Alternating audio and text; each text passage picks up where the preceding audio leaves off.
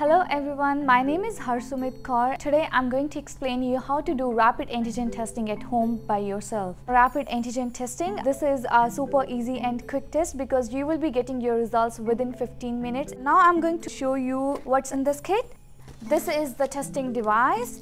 The next thing is extraction buffer tube and then we have nozzle cap and then we have swabs in the package. So now our kit is ready. So whenever you are using this testing device always check the expiry date and the desiccant pouch. If it's yellow color it means it is good to go. Second step is to take your swab. Before you take your swab please sanitize your hands. Now i'm going to do my swab. Keep your face up like this. Each nostril five rounds. Other side with the same swab five rounds so this swab is now infected. Please don't put it anywhere. Now I'm going to mix this swab into this buffer solution. We have to mix this one uh, 10 times.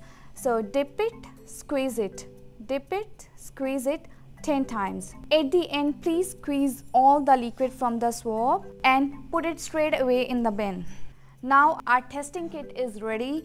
Put four drops into this testing device. One, two, three, four. And set timer for 15 minutes. It's pretty easy.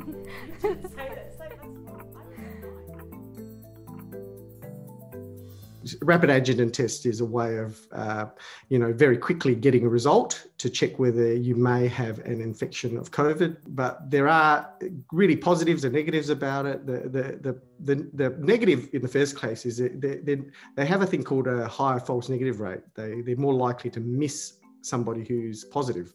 Um, and that may, particularly if they haven't actually developed symptoms. But uh, it has a major advantage, having said that, even though it's not quite as effective in picking things up, in that it is more likely to be used by people because it's convenient. So, in the situation where you've got COVID in the environment, it's endemic, what you're trying to do is use the convenience, even though it's not quite as good at picking it up, to try and get people to do the tests and do the right thing after that so that they don't keep on spreading it if they've got an active infection.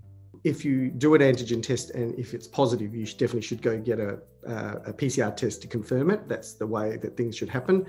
But there's different states are going to have to have different policies with regard to it. And it, it, it, the rapid antigen tests are going to be part of our reality at some stage, and it's going to be a part of reality for all of us. And it's going to require a bit of uh, honesty and and and and uh, you know reliance on people doing the right thing. I'll pass you on to Harsumeet for the result. So now my results are in. You can see there is a single line at C which means my result is negative. C means control line and T means test line. So this is how positive looks like. So you can see two lines, one at C and one at T. Whether the line at T is either faint or it is dark, uh, your result is positive. If there is a single line at T and no line at C, which means your result is invalid. So you have to take repeat that test again. Always read your results between 15 to 30 minutes. After 30 minutes, your results gonna be invalid. Try to do your RAT test first thing in the morning. Uh, don't eat or drink anything. If you have eaten or drink anything, just wait for 30 minutes and after 30 minutes, do your test.